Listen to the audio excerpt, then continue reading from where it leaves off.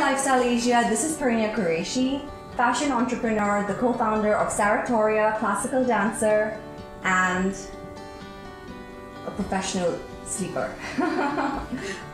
to me, luxury means um, honestly the luxury of time. To me, having the the time you have, being able to spend it the way you want, being um, able to spend it where you want with who you want. I think to me that is real luxury because time is fleeting.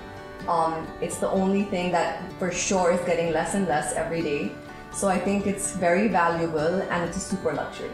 So over the years, um, my idea of luxury has become about um, having more to do with quality and sustainability rather than um, hoarding and having a lot.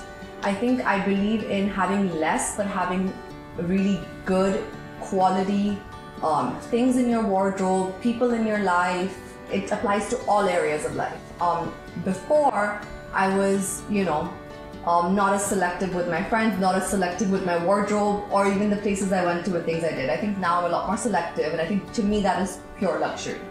I think um, very personal. So I approach fashion and style very instinctively. Whatever I love immediately, whatever speaks to me, um, and I know I'm going to get a lot of use out of it. I think usage is a very important factor when it comes to style and luxury for me.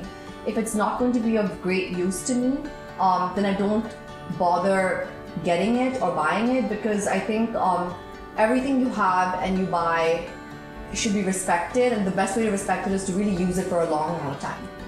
Yeah, of course. Like I said, um, buy less but buy good quality. I I really love since high school. Actually, I've been a very big believer in thrift shopping. Um, I used to go to Janpath and buy the surplus stuff they sell there from like factories and um, the rejected pieces. You know that uh, all these exporters used to sell there. So I've done thrift shopping and flea flea market shopping my whole life. Um, I love um, vintage stores. I loved pre-loved. So I think it's a really good way to enjoy fashion through a sustainable way is to get into pre-loved or into vintage. So to be honest, I'm not really um, influenced by any particular person's style in in um, but I do think that my mother has a huge influence just by being her. She's so graceful and classy, and we have very similar tastes. So we will be in two different parts of the world and end up buying the same thing. So um, I think we both have very similar taste to each other, and I would say that she's an influence. Um, so I have a lot of favorites, but these days, so pinky rings has become my like favorite thing. This is a really cute little heart one. And it's got enamel. I love jewelry. I don't wear too much of it, but I do like wearing like a little bit. Uh, but I love looking at it and buying it, and it's just really a hobby. So this is really cute. Um, it's a heart pinky ring with a little emerald in the middle.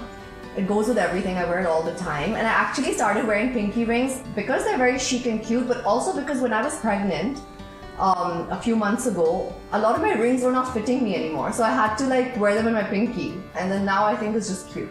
So many. I have so many cherished pieces that have sentimental values. I have a really beautiful um, brocade blouse, a sari blouse, um, which is sleeveless. It's got a bow on it that my dadi, my ammi, had given me, and it was really small, and she had it and it was stitched in like the British time. So it's got a very like um, very nice tailored look to it. It's a kind of fusion Indian and English fusion garment.